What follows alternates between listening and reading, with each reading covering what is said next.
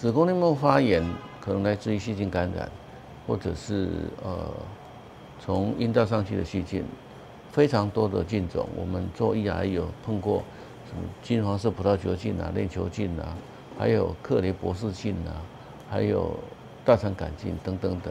那要去证实有没有子宫内膜发炎，要用子宫镜看看有没有一粒一粒的，有没有血管过多 （hyperemia） 或不或者是 microvilli。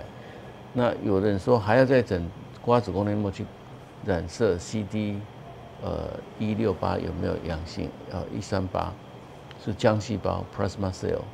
那博妇产科对于这这个子宫内膜发炎会引起没办法着床，或者是着床后流产。我们是在植入的时候就投给予 prophylactic antibiotics，就是呃 doxycycline 两颗 BID 十四天哈。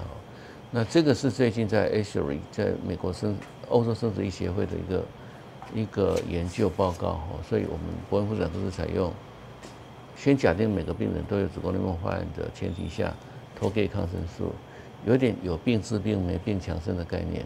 目目前也取得到非常高的怀孕率。